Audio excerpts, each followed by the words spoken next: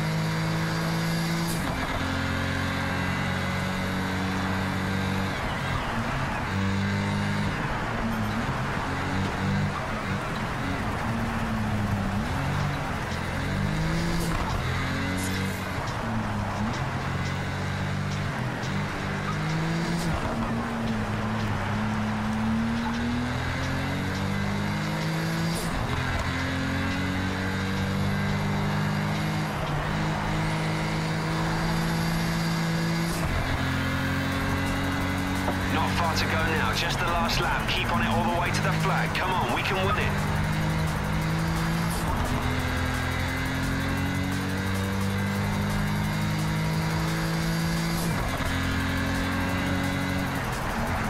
That's your fastest first sector time.